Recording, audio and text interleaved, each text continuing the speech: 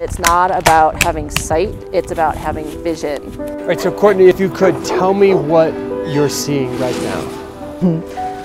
Not much. My other senses are picking up information from the environment and transmitting it into the picture in my head. I think people see me and they think, oh wow, what must that be like?